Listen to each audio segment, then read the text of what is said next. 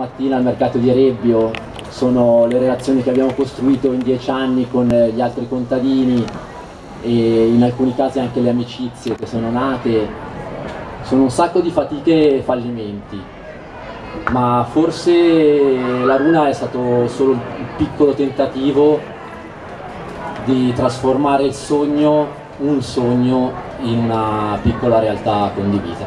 Grazie.